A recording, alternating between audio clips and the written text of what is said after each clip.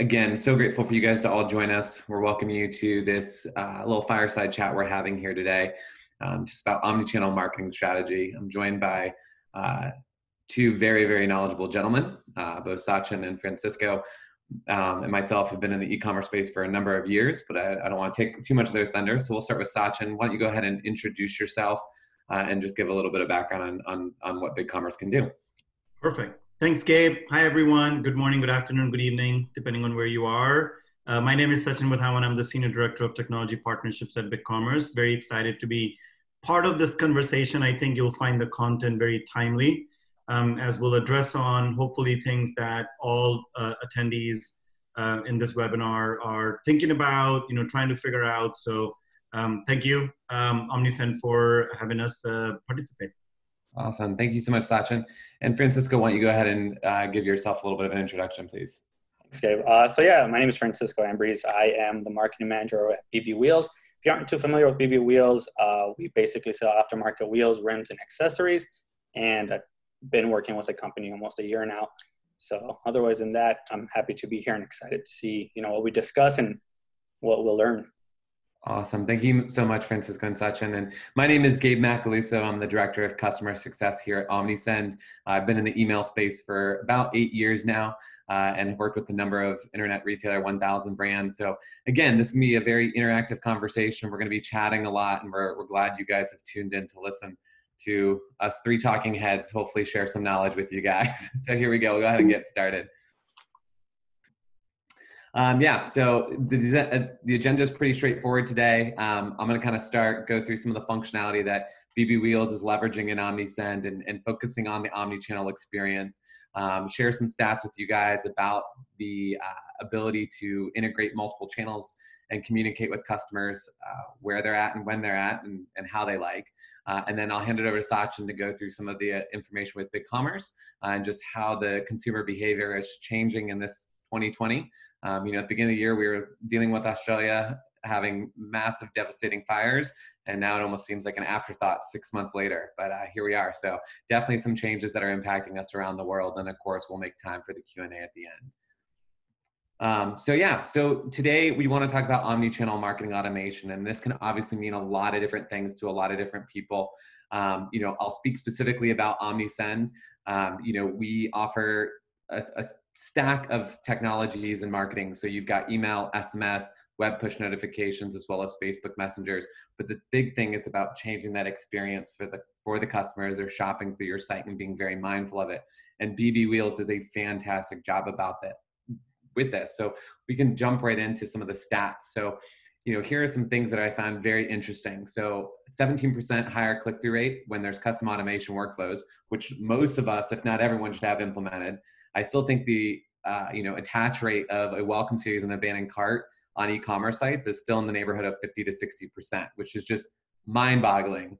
Um, when I'll show you some of the revenue numbers that BB Wheels is experiencing just in terms of ROI, uh, and they're about four months into their contract with us. So um, it's one of those things. If you don't have a welcome and abandoned cart automation going, even just a simple thanks for signing up email, uh, you are missing out on massive amounts of revenue. Uh, we see a 90% higher customer retention rate um, by using multiple channels. So again, getting people bought into the communication with your brand. So if you can get them to buy, buy into email as well as SMS, you've already got an engaged user. And we know that the the cost of retaining a customer is way less than you know the acquisition of a new customer. Um, yet time and time again, we see marketers just spend thousands upon thousands of dollars in, in social media ads, Facebook, advertisements and acquisition costs. Um, and it always kills me when I see people get excited about a 1.2 to a 1 ROI on Facebook ads. But I know that's successful and that's making you more money than you're spending. But when we try to aim for a 40 to 1 ROI in email, uh, it's sometimes mind boggling. And then, you know, we've got that 287% highest higher purchase rate from campaigns with three or more channels and automation workflows, uh, which we'll see an example from BB Wheels here as we go through this process. Um, so yeah, let's talk about supercharging your marketing strategy and uh, and talk a little bit about what Francisco does. Um, so Francisco, I love your pop up. Um, I, I, think you guys have done such a good job here in sort of educating the customer about your brand, also creating the sense of urgency, uh, timely with the Fourth of July in America and the countdown timer. Um, but yeah, just walk me through a little bit about sort of the the emotion you you kind of leaned on here um, in designing this pop up and getting people to sign up for your email channel. Yeah, with the pop up, ideally, um, first and foremost, we want to kind of educate and give key benefits versus like our competitors. So, for instance, we offer fast free shipping on basically all products anywhere in the United States and the lower 48 states. Uh, and we do financing, you know, um, especially during these times in COVID where not everybody might have the funds available currently.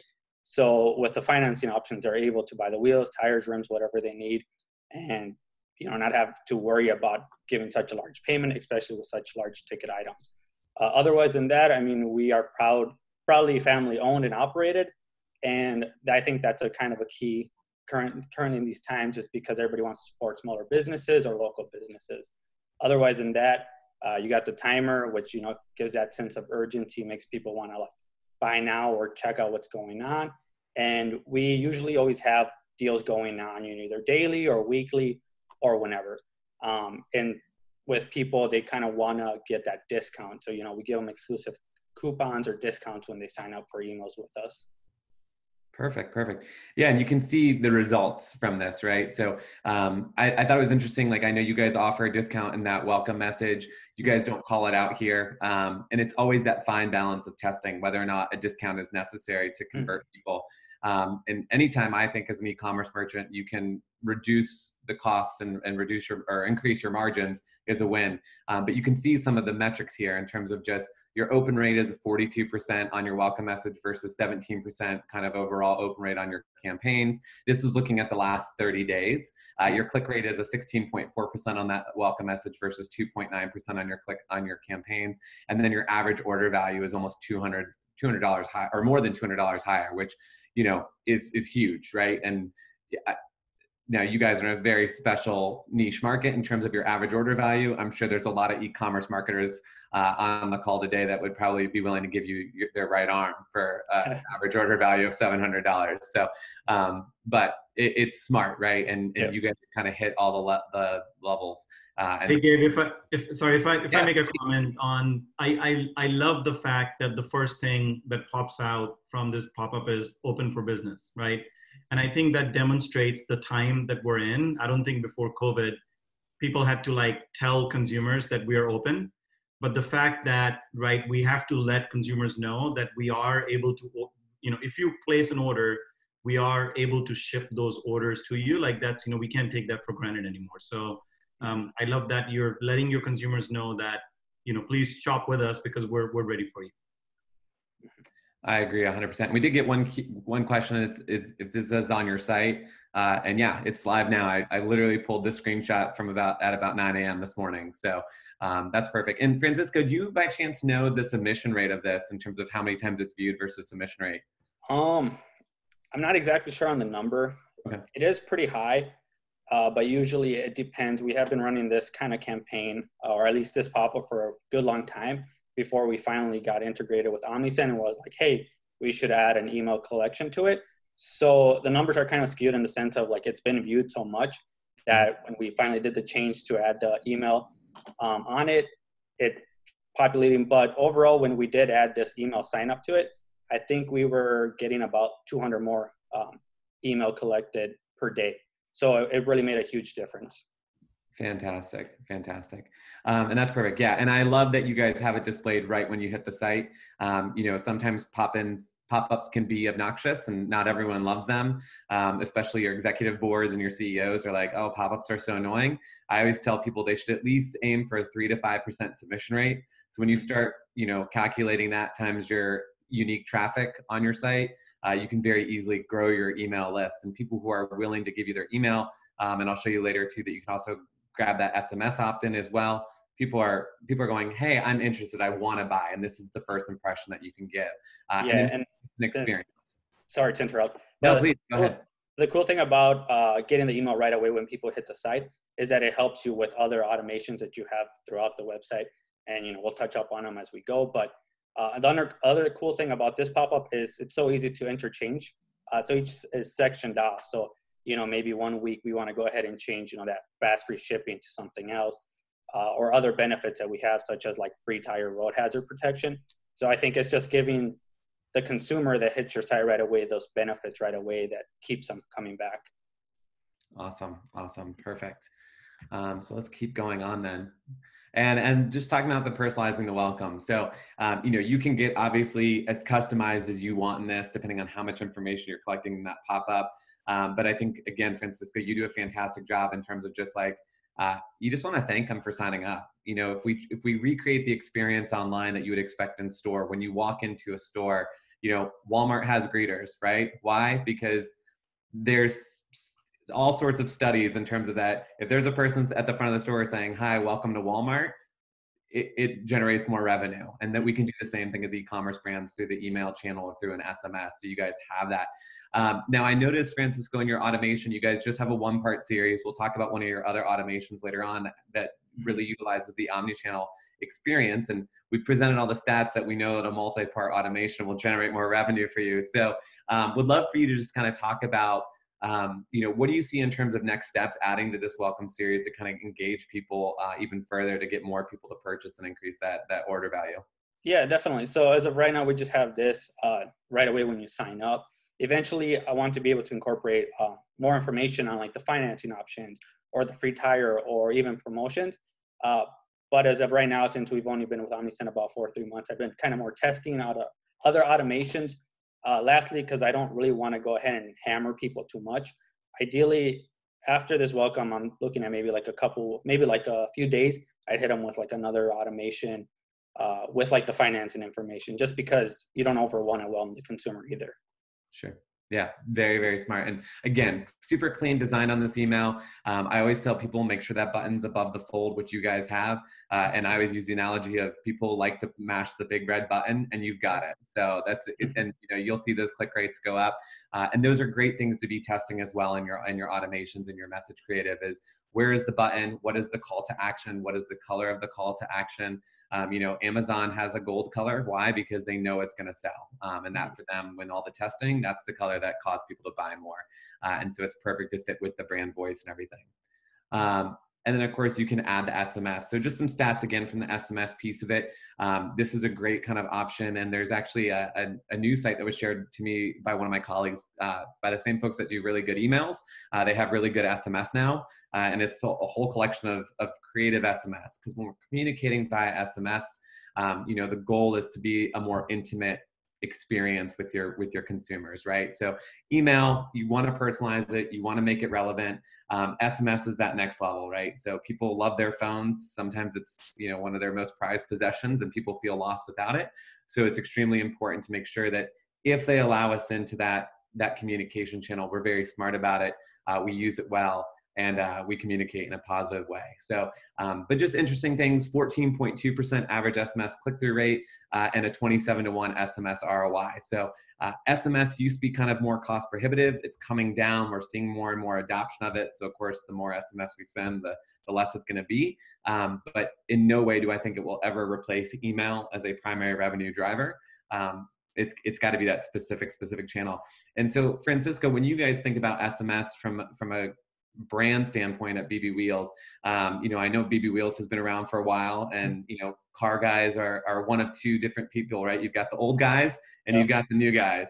Um, and maybe the old guys are a little bit apprehensive about the SMS channel. So how do you go and, and approach that with maybe some of your coworkers to go, hey, we, we've got to incorporate SMS? Yeah, so uh, right now, currently, we don't have a huge SMS collection set up on the website. Um, that's something we're working toward just because I, like I said, I think there's a lot of benefits. And like you said, you know it's something that is in the future you know is going to keep growing and, and get better. Uh, so usually what we do on the welcome one you know you might just get a heads up like hey you know you're thank you for signing up. Just a thank you just re basically reinforcing that thank you and just saying hey we're here if you need us. Not really pushing them to buy just because you know some people might shy away. Like you said the older guys might just be like what the heck how did they get my phone number you know this is so weird mm-hmm. um, versus a younger guy might be like oh that's sweet they sent me a text uh, so it's just kind of one of those things where you kind of have to play it delicately, um, especially in our industry, just because you know you have your older guys and your younger guys. So uh, just finding that those touch points that really hit home. Okay, Awesome. And Sachin, maybe you can chime in here a little bit too. What what have you seen from obviously BigCommerce represents a, a wide variety of different verticals um, and, and, different brand types. Um, what do you see in terms of how the brands on BigCommerce are leveraging SMS to engage their audience? Yeah, I think you know for everything everything that you mentioned, in addition to uh, just use of mobile in general, right? I think you know I, I believe it was about 18 months ago when we did an analysis across all our customers, so we have 60,000 merchants on our platform, and we saw this shift that the total number of orders that that go through our platform um, were higher on mobile than on the web, right? And I think that doesn't surprise many businesses that you know people are out and about and they are more and more used to just using their their phone to engage with the brand and i think sms plays in that bi-directional communication right they want to place orders but they also expect that you'll reach them on their phone, right? So I think we're definitely seeing a, a growth in more adoption uh, on SMS. Awesome. And Francisco, this is actually probably a good question for you as well. And, and I'm putting you on the spot here. This wasn't in the questions I prepped you with, so I apologize. Um, but obviously, like BB Wheels, we saw the average order value. You know, this is for me, this would be a, a, purchase decision I'd really have to kind of think on and mm-hmm. research and really make sure this is the decision I want. Have you guys seen a similar shift in terms of the number of people purchasing on your mobile site versus desktop, or where do you guys see that that variant happening? Yeah, so our mobile has gone up uh, due you know to COVID, um, and we also did relaunch our website. We got a whole new design, so that's helped out with this. Uh, you know, with the COVID, with COVID going on, uh, but we have seen a large number of like increase in mobile and a lot of the times with like sms you know like you said it's, it's one of those larger ticket items where you kind of have to bounce around and just see if you know you really want to buy from this particular place or if you can find a cheaper deal you know there's a lot of factors that go into it. Uh, but with the sms it's really helped us with just keeping us top minded for the consumer. And i think currently we're at uh, we used to be at a 10% return on customers and now we're at like a 14% uh, with return out of uh, out of 100 versus being 80% new and 80 now we're like i want to say like yeah we're 80% new and then that uh, okay. 16% return which sms is really helping us with just that just keeping customers coming back and that's kind of ideally what we want is happy customers and them to keep coming back to us that's that's awesome. And um, what do you guys look at, and just in terms of your timeline of a return customer? Is that like a 12 month window, or or uh, how? What's that customer profile look like? Uh, usually it really comes down to I would say it's within a couple weeks. Okay. Um, you know, uh, usually when somebody wants to buy rims and tires or like any kind of automotive part that might be expensive, they've already had it in the back of their mind for a while. So then once they start shopping and start looking, they usually kind of that kind of makes them want it even more. You know, if you add the pictures and you add the video and the emotion, uh, they'll shop around. You know, they'll come to the site, shop around, then they'll go to other sites, see what kind of offer or deals they give them, and ultimately then you know they come back. So i would say it's probably three to five different times they visit the uh, the store before they make a final purchase. Okay. Awesome. Fantastic. Um, yeah and again this is just kind of reiterating that we've talked about. So um, why add a sms um, if you're like me i'm one of those people that does not like to have that little red bubble on my iphone so i read everything uh, even if i don't want to read it and i just end up deleting it both my inbox and my uh, messages. They're not at zero, but they're at zero on red because I can't stand the notification. Um, but uh, 47% of omnichannel campaigns are going to end with an SMS, are going to end in conversion just overall, which is pretty spectacular. Uh, and then, of course, when we look at Gen Z and millennials, um, you know, as sad as this is, but a third of the Gen Z are psychologically uncomfortable away from being uh, being away from their phone for 30 minutes, um, which is is so it's great for us as e-commerce marketers in that we, we constantly have an avenue to, to reach them, but also kind of depressing as a society. So, um, I'm not Gen Z, but I'm but I'm in that camp. yeah. Um, yeah, absolutely. I, I 100% get it. And then I, I think this last stat, you know, um, even our CEO Rytis did the podcast of like, you know, the email email is dead or the, the you know email is dead. Is that true or not? Um, but people see email is still a very viable solution and it's going to continue to grow. Um, I remember a couple years ago when Google released all of their tabs, right? And everyone thought, oh, this is the end. We're all going to see like massive unsubscribe rates. If anything, we saw open and engagements go up because now rather than people clearing out their inbox to just get to the meat of it, they're going, let me leave that stuff in my promotions tab and when I go on my lunch break or or when I'm you know go to the bathroom or you know when I sit in traffic, um, I can go ahead and you know click through that promotions tab and start shopping. So uh, very interesting stuff there. Um, so that's that's fantastic. Okay, and then of course um, this is just a pop up from OmniSend. It's you know example where you can capture email and phone number. Again, the biggest thing here is going to be able to test it. Um, I always go back and forth in terms of you know hit him with it right away, but the more fields you have, that's a bigger hurdle, right? We spend so much time optimizing checkout and reducing clicks and reducing steps to make sure we get that conversion and capturing someone's email address is exactly that. It's the front end conversion. So if we're adding a whole bunch of additional fields, while it may be beneficial on the in the back end in terms of segmentation and being able to have multiple channels, um, how can we be strategic in making sure that we're getting as many people filling this out as uh, as possible? Uh, and then again, just purchase rate. I think you know seeing that three x difference between three or more channels or single channel marketers. Um, you know, if you can hit people through email, um, through SMS, they're going to be more aware of your brand. Um, I tell people when I work with them, at a minimum, they should be communicating with their broadcast audience at least twice a month. Um, it can seem overwhelming as if you're a smaller merchant and you know you're a team of one or a team of two um, to to figure out enough content to generate in all of these messages. Um, but I always tell people like make it simple. Like one email a month is your new releases, and the other email a month is you know whatever you have a ton of stock of, and you're just trying to liquidate. Um, and that can be your big sale email, and that's that's how you can start really simple in terms of just a content calendar, uh, and and you don't have to make it more complicated than it needs to be. Uh, one of my mav- favorite sites is milled.com. That's like mill, like a corn mill with the ED. Um, and what it does, it basically just aggregates a whole bunch of different brand emails out there. Uh, and the great thing about it is when you go to that site and you start looking at all these like major brands that probably have, you know, 40 people on their email team, it's usually one giant graphic image with a giant 20% off and a giant click here. And no personalization, no, no, nothing strategic about it. It's literally just push the sale. So um, you know, we love to get into the nitty gritty of it, but we don't need to overcomplicate things. We just need to make sure we're communicating people at the right time. Okay. Um, and then converting abandoners. So, um, you know, when people give us data, this is what they expect us to do in personalizing marketing emails. Um, you know, Starbucks probably does the best job of this, right? We all sign up for the free birthday coffee and they keep track of what we're ordering. Uh, but it's also funny how much information we get to give to these brands. They they notice our purchase behavior, they notice our gender, and yet we don't do anything with it. Um, so people are kind of going, hey, if I'm going to give you my gender, do something with it. Um, if I'm going to give you my birthday, you better believe I want a birthday coupon, right? Like, you know, and there's some creative ways to do it. So I worked with a running shoe company in the past, and for anyone they didn't have the birthday, they would just send a happy unbirthday email. Mm-hmm. um, in, in, hopes of collecting that. So there's a lot of flexibility you can do there. Um, but if you're going to get this information, make sure you're utilizing it. And if you don't have the resources to utilize all that personal information, don't spend your time asking for it. Wait until you have the time to develop those things and then and then build from there. Um, so I think that's extremely important. Um, all right, so let's get into the, the, the actual numbers of the abandoned cart automation. And, and Francisco, I think you guys do a fantastic job of really sort of um, integrating both email and SMS into it.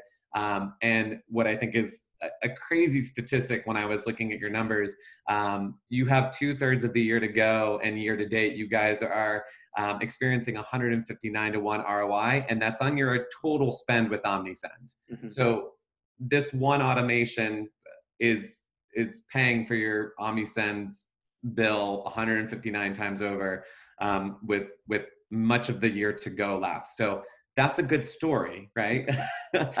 um, so so just walk me through the strategy of your abandoned cart flow and and tell me how you mix together email and SMS. Yeah, definitely. So um, like I, I, had referred earlier, uh, the biggest thing is you know getting that email right away when people come to the website because then you can use it throughout um, your website for different automations. So for instance, it works really nice when we get that email right away and people are shopping just because we know the consumer is going to come to the website, shop around, you know, spend a little bit of time here, then jump somewhere else. Uh, in that meantime, they might add an item to their cart, and it's something that they really want to get, but they still want to make sure, you know, that they have the funds or, you know, something they got the best deal basically. Uh, so when we get that email, we go ahead and, you know, right away they get entered when they leave that item in the cart and they go somewhere else. They get entered into this automation. with this abandoned cart. And usually, you know, you'll get like an email. First email you'll get, we send out is just a coupon saying, hey, you know, come back. You know, you're we, we're giving you this coupon to come and spend it uh, to use it. And then you get hit with an SMS. A couple, of, I think it's a few days later, up seven days later, just because, like I said, we don't want to uh, be overburdensome on the consumer, just because you know we never know what's going through or what they're thinking. Um, and this just reminds them that they still have that coupon and that they can come back at any time and use it, uh, or that we've extended it basically. And it, it's been working really well, just in the sense of some people like to have a coupon in the back of their pocket just because you never know when they're going to come back and shop. So it's been working really well. And on top of that, we go ahead and shoot them with that, uh, not shoot them, but we give them that, uh, um, that financing option. So just in case, like I said, during these times, of financing, you know, they might not have the money available, but this way they can go ahead and get the wheels of their dreams or the tires that they need or accessories to customize their vehicle now that they have you know usually more free time than before that's awesome. And what kind of feedback are you guys getting in terms of like your customer service team or customer support team with with your contacts calling in? Like are they are they mentioning sms or are you getting any feedback directly from your consumers about about the the multiple channels? Uh, not necessarily but i have seen a spike in you know people using the coupon. Uh, versus i think before we had the coupon available uh, through different channels, but nobody really ever used it because there was not like it wasn't an incentive enough for them to really use it. Versus now we see a lot more people using this coupon, or they'll use the later coupon that comes available after you know two weeks. So it's, it's working really well. Good, good, awesome, awesome. And this is a little bit of a tangential conversation, but I think it's one that's interesting, and I think it's one that we hear a lot from marketers. Um, obviously, you guys are using a static code. There's there's the camps that say static code is better, a unique coupon code is better. Sort of walk me through your decision to use a, a static code. Um, we just figured it'd be usually a lot of people know that when you get a coupon or a consumer, most consumers know that a coupon usually kind of can be generic or it's going to give you the same value at the end of the day uh, so we just decided to use the static coupon just because it's easy to remember. And on top of that, you still keep it there. You don't have to worry about going back in and then trying to remember what it was with that personalized. Either way, I think at the end of the day, um, coupons will add value to whatever you're trying to do. So it, it's been working really well with us, and I haven't had really any issues with it, like I said. Good. Yeah. Awesome. And that's sort of always my mindset of it. It's like if I have the margin to give and this mm-hmm. coupon generates, you know, 10 more orders over the course of a week that I mm-hmm. wouldn't have gotten because they found it on Honey or whatever websites, you know, RetailMeNot. I'd rather take the 10 conversions than not have those 10 conversions because someone didn't track down a coupon code. Um, exactly. Um, so that that to me makes sense. Obviously, there's there's a, a, a, case for it, and you can set up multiple automations to make sure that you know not everyone goes through the, the coupon code automation and mm-hmm. you, know, you, can, play around with that testing and that kind of stuff to see that conversion so that's actually, awesome. I actually love the creativeness of the coupon code francisco you came up with which is you're kind of enforcing emotionally for them to buy the wheels today right so it's it's creating an urgency on make this purchase right you know have, have your dream come true so i think in, in addition to just something that's easy to remember I think it's probably creating, you know, an emotional attachment to I should be making this purchase today. So that's great. It's very creative. Thank you. Perfect. Um, and then before I hand it over to Sachin, just one last question for you, Francisco, and I'll just kind of leave it on this slide. Um, you know, you have several automations set up in your account. We obviously highlighted the welcome and abandoned cart here. Um, as you guys think through and your strategy and, and you start, you know, continuing to develop what you guys are working on at, at BB Wheels, where do you see the next automation sort of being your primary focus? Um, we're thinking of adding a rewards system with our website. Um, I think that is where we're going to go ahead and add an automation just to remind people, hey, you have so many points, you know, go ahead and spend them, save this much money. Other was another one that I was thinking uh, of adding, or basically just more of a benefits automation uh, reminder. Like I had said earlier, you know, maybe a couple days or a week after they purchase something, they might get reminded that they have the free tire warranty. Or, you know, even if they didn't make the purchase and they still have that item in the cart, they could be reminded again of the financing options that we have. It just reminded the consumer that, you know, these options are available to them and they can go ahead and use them whenever they want. It's just one of those automations I think would really add value to what we're doing. Yeah, awesome. And the best part is once you set them up, you don't have to do anything with them. They just exactly. make money. They're awesome. All right, awesome, awesome, awesome. All right, well, Sachin, I'll hand it over to you, um, and you can do the classic next slides. You just let me know, and, and we'll and we'll roll through these. That's perfect. No, this is really great to learn from uh, Francisco your your experience leveraging both BigCommerce and Omnisend to to be able to implement these technologies. Obviously, we always believe that technology should enable your strategy, right? So you should not be a marketer and have a great creative idea, but then you're like, well, I can't really implement that idea because I don't have the right technology. So, so I would love for the for the audience to kind of take a step back and you know from an e-commerce platform perspective before we go into BigCommerce. Uh, Gabe, if you go to the next slide.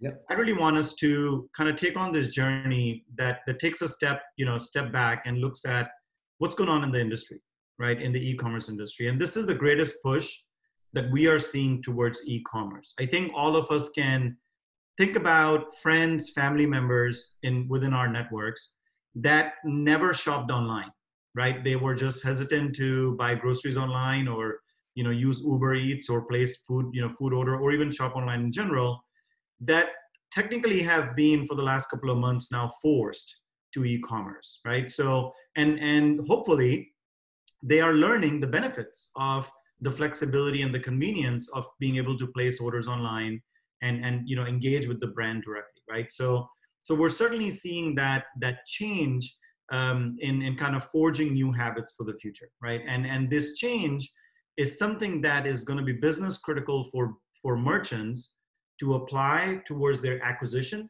as well as their retention strategies with their customers so if you go to the next slide um, continuing with this theme kind of what happened uh, what started as a local problem uh, very quickly grew global, right? So of course, I'm talking about COVID here.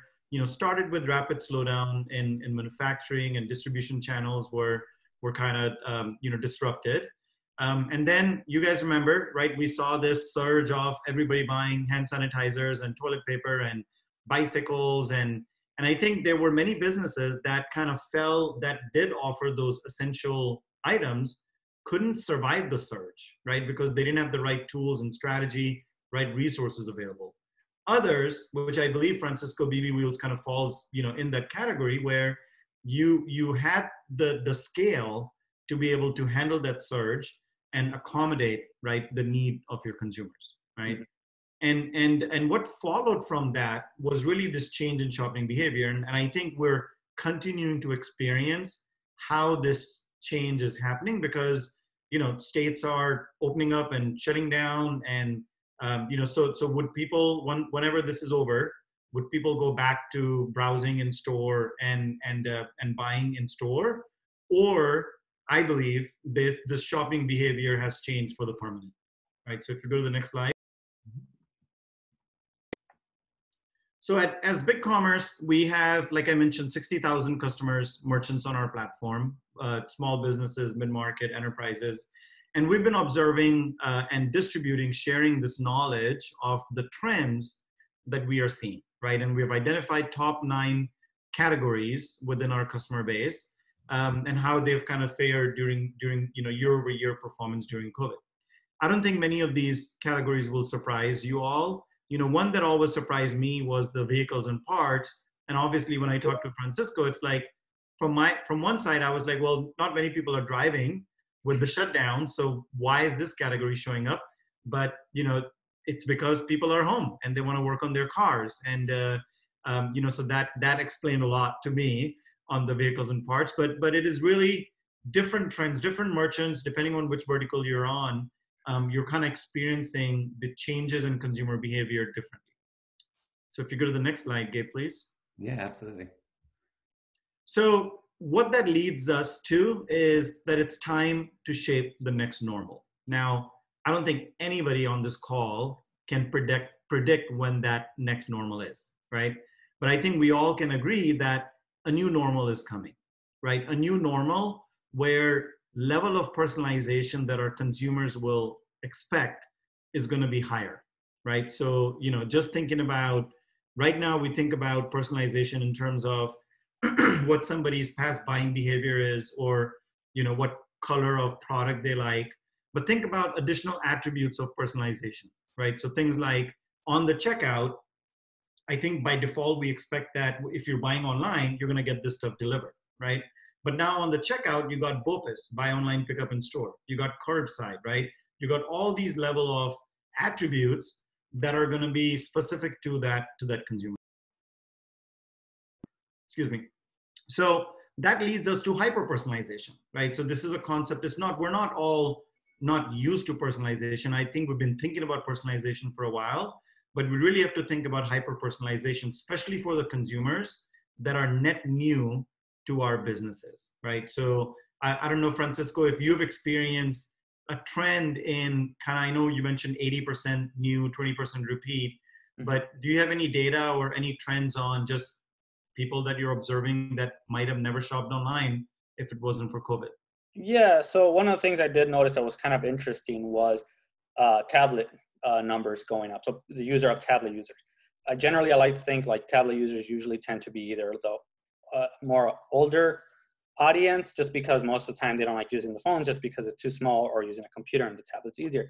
So I've seen a spike of I think uh, prior to COVID we were at maybe like a five percent, um, and now we're at like a fifteen percent users are on tablet.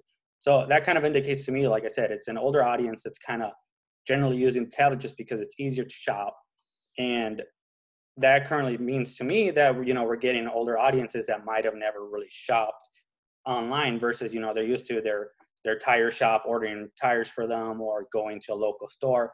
And now they're kind of like hey you know i can't really go out.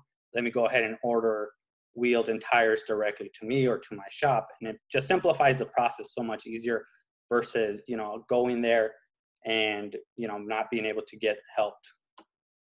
Yeah. Yeah i think it'll be really interesting for businesses and merchants to think about as you're attracting these new shoppers, online shoppers, how do you, what does their journey look like? How can you as a business help them ease into? Because these are not the people that also shop on Amazon all the time and also Uber Eats all the time, right? So just thinking from that hyper personalization perspective.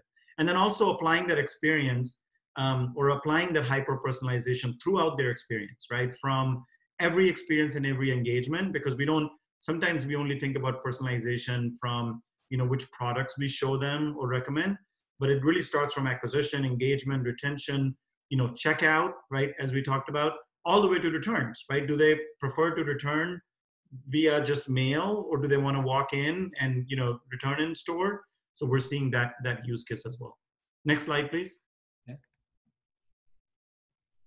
so we've talked about e-commerce industry as a whole. Let's uh, zoom in on BigCommerce as an e-commerce platform. So for those of on the call that are not familiar with e-commerce, uh, we have over 60,000 customers on our platform. We've been around since 2009. Um, we have 750 plus employees headquartered in Austin, Texas, and we serve merchants in over 120 plus countries. And then on the next slide, our mission is really to help merchants sell more at every stage of growth. What that means is regardless of which are you just starting out as a business? Are you growing as a business? Are you doing 100 million online? We we are the platform for you right? In the sense that you can continue to grow and scale on our platform. So the three key value propositions that we offer to our merchants are total cost of ownership um, powerful performance and built for growth. So let me go into each of those uh, one by one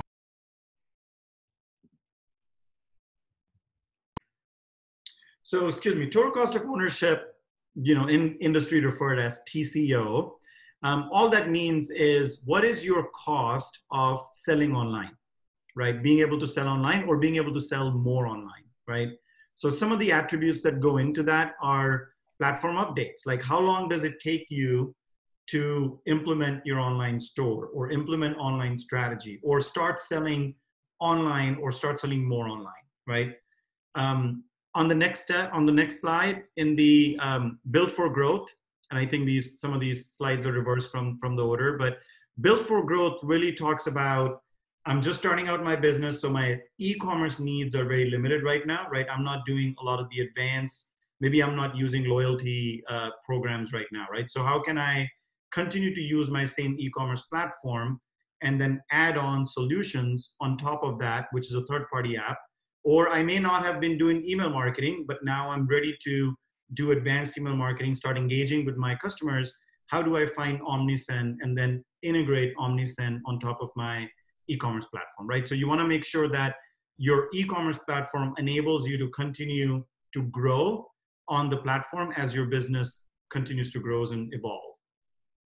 And then performance, uh, I don't know if anybody on this call is net new to selling online, but you know, uptime is the key, right? Uptime is really important because imagine if your physical store um, is you know locked for an hour and consumers shoppers can go in not imagine. We've been experienced that with covid. Um, that's equivalent to uptime right? So you don't want to have your store not be available or not be able to process orders uh, at any time. So and then in addition to performance of just being uptime the other performance that's really important which we talked about is shoppers experience regardless of how they're buying right so if I'm on desktop, if I'm on mobile, I as a consumer expect fast response, right? So I could be on a 3G, 4G network, I could be on a Wi Fi, right? So really being able to deliver that experience regardless of um, the speed and, and what medium they are making that purchase on is really important. And the last slide is really around. Um, oh, sorry. There was there was there was one concept around B2B that I wanted to talk about, which is really around many businesses think about e-commerce as a retail, right, as B2C.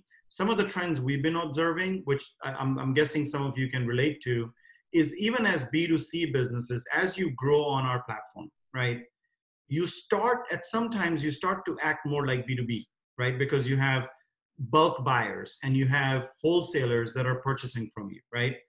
those buyers expect a different experience not dramatically different but they expect slightly different experience in their shopping experience in shopping uh, journey right so the platform the e-commerce platform should be able to accommodate as your b2c business grows into b2b and then we see the other reverse trend as well where we see a lot of b2b businesses that have primarily sold through distribution channels are starting to act more like b2c because they are going direct to consumer, right? So even for those businesses, being able to create that B2C experience for your accessories or some parts that you're not selling through the distribution channel can be really interesting. So again, the e-commerce platform should accommodate whichever business model that you've implemented uh, to help your help you keep growing your business on the platform. Awesome. Awesome. And Francisco, does BB Wheels do any wholesale or, or B2, call it B2B sale? Uh, I mean, we do a little bit uh, to like dealerships in a sense. Um, ideally, we want to try to grow that as well going forward, but right now mostly we're B2C just because that's how we've been working for a while now. Yeah, yeah, absolutely. And do you have specific revenue goals, like percentage of revenue, to try to move over? Which is very interesting because a lot of times, as Sachin mentioned, we kind of hear like we're a B2B business and that's 80% is wholesale and 20% mm-hmm. consumer. And we're trying to make it like 60 40. And you guys are kind of doing the backwards path or the yeah. reverse path of that. Uh, off the top of my head, I don't necessarily have numbers. Um, but I know down the road, eventually we'd like to get a bigger percentage of B2B um, just because it's more, you know, it's kind of more reoccurring versus a consumer might shop one time and then that's done. Yeah, yeah, absolutely. And I do like, I, Sachin, I do like what you said. I, I think there's this sort of almost bridge between like a true B2B where we're like, you know, Sachin, you and I are in software sales and there's contracts and negotiations and all this kind of stuff. Uh, and then the direct to consumer, which is add it to my cart and purchase. And I, I like to coin this term, it's called like business to purchaser, because basically you're working with the one or two people in the purchasing department. And you can really treat them like that D2C consumer where um, I worked with a company that sold metals online and it was, you know, eight foot, two inch steel rods uh, and one of their best performing automations at that company was their birthday automation. Um, because ultimately, like I always kind of had this persona of like Brenda down in purchasing, right? It was all these like sort of mom and pop metalworking fabrication shops.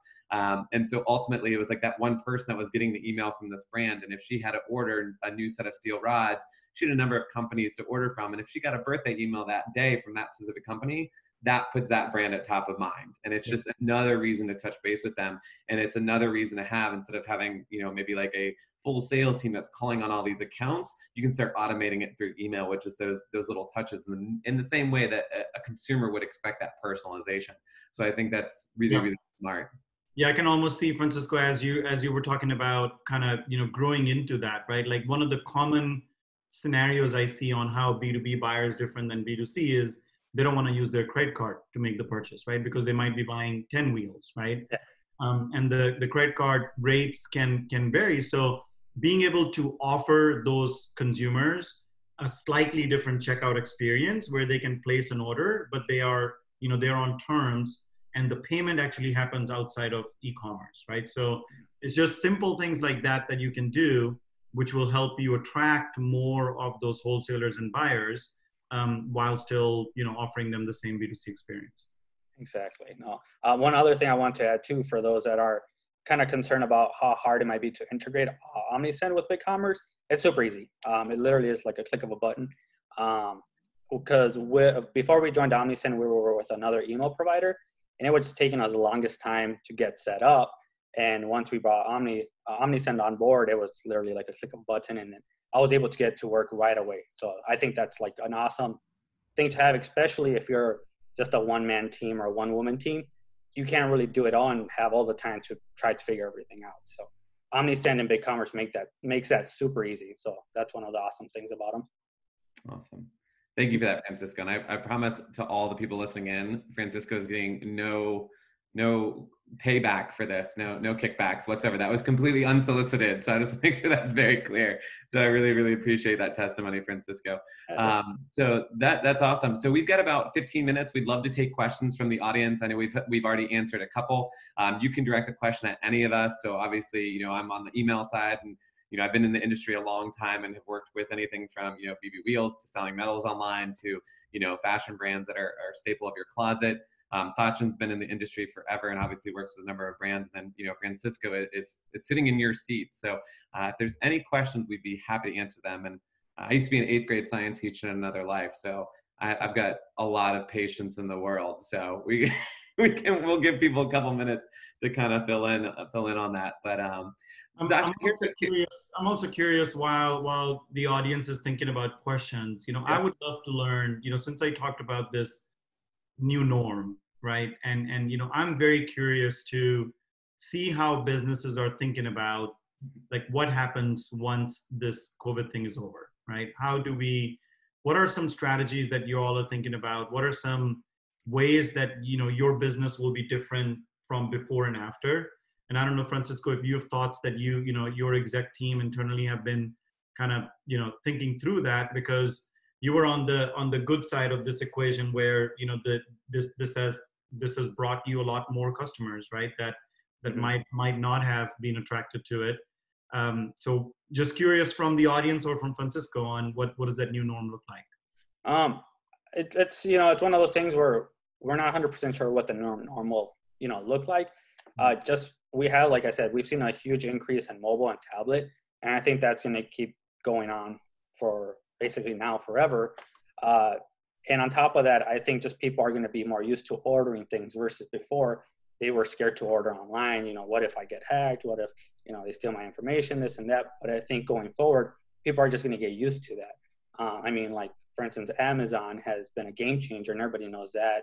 Uh, back in the day, nobody really ordered anything online. It was even my own parents when I was younger. They were like, "No, don't put the information in there. You know, they're gonna take all my money." And now it's, hmm. it's you know, it's as easy as going to the store and swiping. That's literally what you do nowadays. You just go in there, fill out that information, and on top of that, I think going forward, you know, saved information for like for you to go back in there. The shopping experience is going to be so much easier and faster. And I think that's just going to become the new norm, and people are going to expect that when they go shopping is they already have my information. I just hit order and it's done. Um, so that's one of the things I think we're going to see a huge change in, and it's just going to keep going. Awesome, awesome. We did get a couple questions. Um, so Francisco, I've got a thought on this first question, but I'll let you answer first. Uh, Tony asked, "How many emails are too many emails?" That's a good question. I generally ask that question myself because I try to put myself in the consumer's shoes. Yeah. You know, do I want to get spammed with a ton of email? Uh, but usually what I do is I'll send out about, like you said earlier, you know, two emails a month, uh, just for sure. That, that should be the minimum. And you can space them out as much as you want, but usually I do one like every two weeks. And what I'll do is if there's something important that I think might be vital for the consumer, then I create another email and send it out. But usually one or two is my go-to number. Yeah, yeah, absolutely. And you know, to kind of tie into this as well, like eh, you know, Tony, I think, and you know, for emails is how many is too many. It's how many your audience is willing to accept from you and, and will engage with you. So, you know, making sure that you're segmenting your audience, making sure you're looking at people who last open, last click, last order date, I think are all, you know, key metrics you should be looking at. I mean, I've worked with people who send three emails every day to a database of, you know, a million plus, and you're like, oh my goodness, what what are you doing? But they're getting 20 to 30% open rates, which is is good. You know, we tell our we tell our customers to try to at least aim for a 15% open rate. That's solid inbox placement. We can tolerate 10%. Anytime you start getting below 10%, you really need to take a step back and look at your audience and think about the content you're sending them and say, okay, do I need to clean up my list a little bit, which I know kills people because the cost of acquisition for that email address is so high that you don't want to give it up. But I always kind of, uh, you know, compare it to the the ex-girlfriend, right? If you call your ex-girlfriend 50 times in a row and she never answers, you need to stop calling her, right? Like you got to move on. It's time to it's time to cut and run. So um, I, I, think as, as many emails as, as they'll be willing to, to take from you is, is the good answer there. Mm-hmm. Um, Tammy said, would you suggest to use a landing page to collect more emails? Um, and do we have any good integration recommendations? So we'll kind of start with the first part of the question there. Um, and Francisco, you may have some experience with this. Um, what do you feel is sort of the best way to capture an email address with someone coming to your site? Yeah, um, and that's one of the things I debated at first was whether just having a pop-up or a full-on landing page. Um, and ultimately, we ended up deciding just doing the pop-up because we feel like a landing page will take people away from your site, um, and it kind of adds that extra step of having to you know go back versus just typing and then it exits by itself. Um, so, I, I mean, personally, from the success that we've had with pop-ups, I think pop-up is the way to go. Then again, it really comes down to your audience and the type of store you have. You know, a landing landing page might be better if maybe if you have a lot more information to give versus a pop-up is just sleek and fast.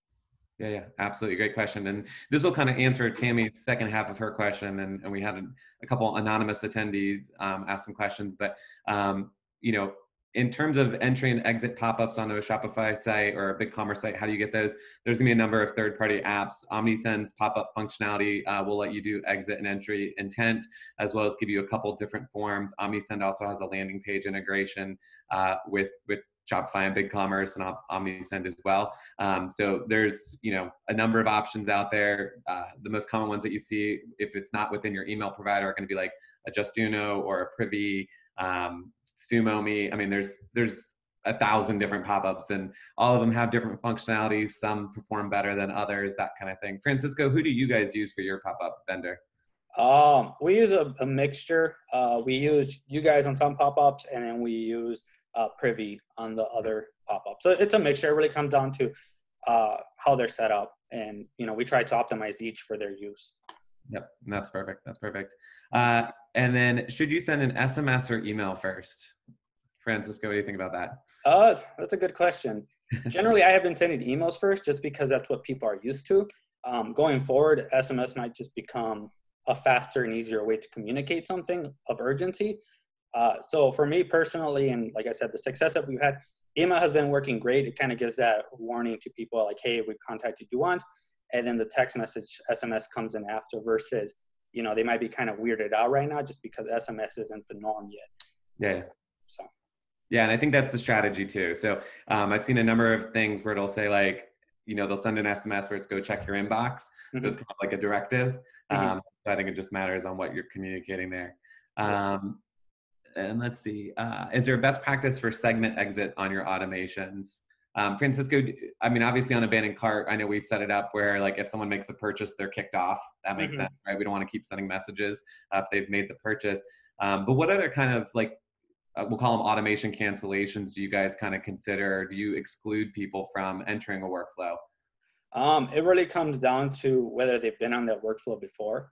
Uh, so like you know maybe they have already bought an item and or well not necessarily. I mean every time they come in and add an item to their uh, cart, they get entered into that automation. And usually what happens is either they make the purchase or they don't, and then they just automatically get exited out once it hits that final notification of, hey, you, you know, you got this email uh, with this discount, go ahead and use it. And if they don't, it just automatically takes them out. Because um, like you said, we don't necessarily want to keep hammering people with the same emails. Uh, so we just kind of let them live their process. And if they come back eh, again to the website and they add another item or they do something to you know re-enter that segmentation that automation i mean then they'll be back in that process. But usually we just let them live there. That's what's been working really well with us anyways. Awesome. Awesome. Perfect. And then um, we've got a couple more questions but i know we're coming up on time. So um, we'll, we'll try to answer these rapid fire. So um, alicia asks is there a way to prevent emails from landing in the spam and junk mail um, and you know, Francisco can attest this. They have great open rates. The biggest thing is just making sure that you're engaging with your audience. That's the biggest thing. Gmail and Hotmail inboxes will look at are people opening and clicking your messages, and if they're not, they're going to put you in the spam folder. Uh, real quick story: I worked with a guy who sold uh, airline parts or airplane parts, like uh, hobby hobby private pilots. Uh, and he would sign up for all his competitors, and this was like his way of sabotaging them. Uh, would he'd like mark every email as spam? Well, Gmail started reading that this guy, even though he owned the airplane part company, doesn't want to receive emails about airplane parts. So they started, Gmail also started putting his own company emails into the spam folder. Um, and so Gmail's, you know, if if you can figure out how Gmail puts stuff in the inbox, the primary versus the the promotion folder, you will make a bajillion dollars because you will cracked the secret sauce. And as soon as you figure it out, they're going to change it anyway. Um, but yeah, so the biggest thing is just engagement and making sure you're sending the, the audience that wants to receive your messages. So that means good opt in practices, segmenting out people who aren't opening your messages, not ordering from you, all those kind of things. Mm-hmm. Um, and then uh, Nicholas asked, collect phone number and email all at once or send an email later for more information. You, you got to test, right? So the big thing there is if if you start collecting phone number and email at the front end and you notice that you know submission rate of your pop-up goes from 7% to 2% i would say that's not a good plan and, and the better the better out is to go and ask for that email for later information obviously in the in the BigCommerce settings in, in your checkout Sachin, I think you can set it up where you can actually collect that SMS opt-in at checkout, just like you can email. And that's a great place to kind of capture those people. You've got obviously high intent and engaged people. They're completing that purchase with you. And so they're going to get that SMS opt-in. So um, any of the other questions we'll answer offline. I know there, there was a couple more that came in um, but want to make sure we wrap up on time in case people have to jump for four o'clock phone calls. Um, so Sachin, I'll give you the floor if you have any parting words real fast. No, thank you. Thank you for listening. I, I you know, I'll go back to there's a lot of unknown um, right now in terms of what the new normal is going to look like, how the consumer behavior is changing. Um, and I and I think it's uh, you know I can speak from a platform standpoint that we want to make sure that our customers have the tools and, and capabilities to ensure that whatever that change is coming, they can they can adopt to that change. And the, the technology should enable you and, and should enable your strategy and not the other way around. So uh, thank you for participating in this in this webinar and listening. Awesome. Francisco, any parting words from BB Wheels team?